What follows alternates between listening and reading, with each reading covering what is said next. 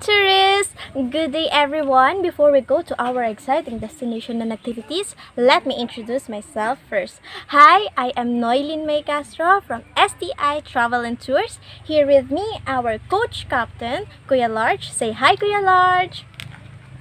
Okay, tourists, we have nothing to worry because he is a 5 years licensed professional driver. We assure your safety and security.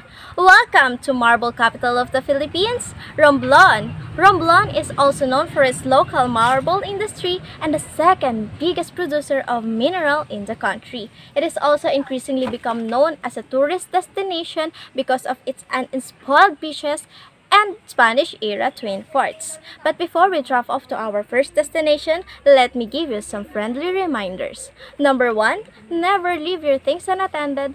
Always bring your things with you. Number two, observe body to body system. This means that you need someone to be with you all the time.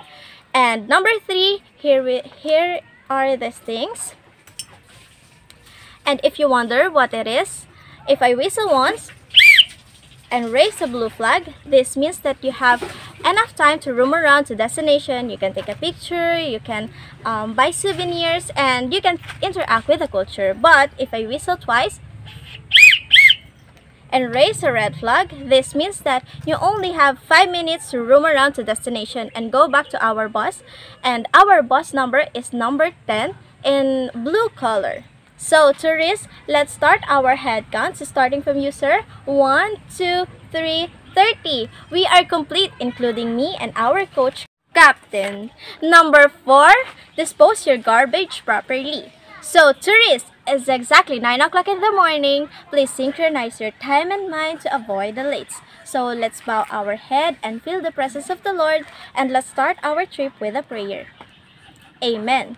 So, are you all excited, my dear tourists? Say yes, Ataline! Okay, tourists, thank you. If you have any questions or clarifications, don't hesitate to approach me. Don't forget to enjoy this entire tour. God bless!